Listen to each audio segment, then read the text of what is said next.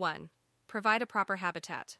Leopard geckos need a secure enclosure that is at least 10 gallons and filled with substrate such as paper towels, coconut fiber, or reptile carpet.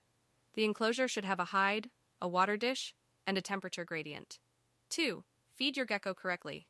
Leopard geckos should be fed crickets and mealworms, as well as calcium and multivitamin supplements.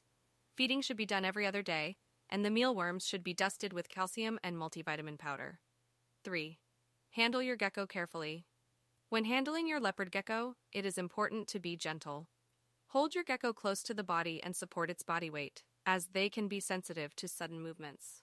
It is also important to keep your gecko's nails trimmed and to provide a shallow bath occasionally to keep them healthy.